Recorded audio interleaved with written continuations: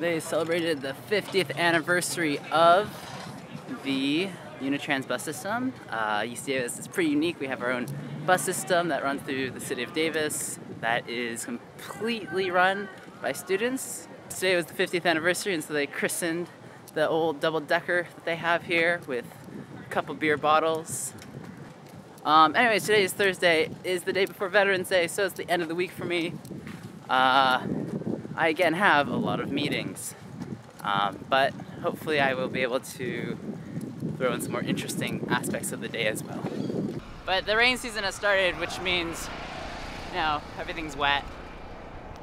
Got rain cover for the backpack. My bike seat's wet because I forgot my rain cover.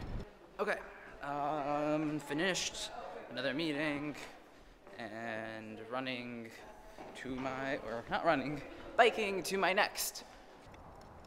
All right, finished with meeting number three, four, I don't know. But running to another meeting now. I swear to God, my entire day is running to meetings.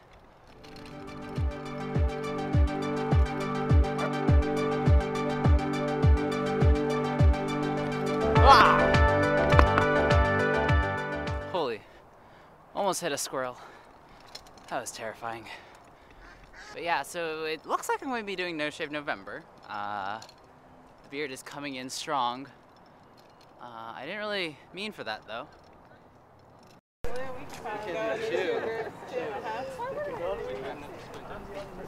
Professor Enderle, do you want to explain what's happening? I have a vlog.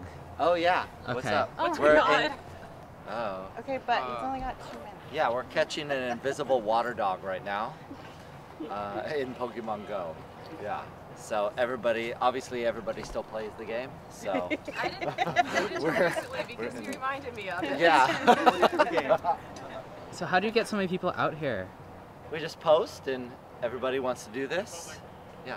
You. What You are you all doing? Huh? We'll do public, yes. Such a complex process. So go ahead. Wait, uh, so who's yellow here? That's racist. Two yellows? Who's red? One? Hey. One red? Two reds? Red. Who's no, red? Three reds? So they're all blue? We're starting a little early. And you guys are catching an invisible water dog. Yeah, yeah.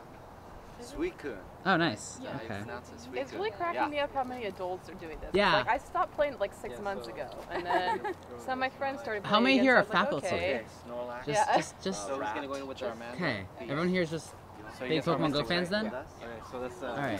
So there's Enderle and a bunch of fans. Enderle's more famous than you think, guys. Uh, Good luck on your Suicune catch. Thanks. Thanks. Take care.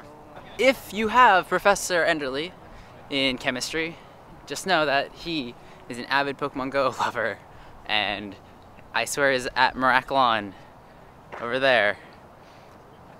Like every time I'm at Miraculon, he's like always at a raid, um, and I'm not sure why, but it's pretty cool.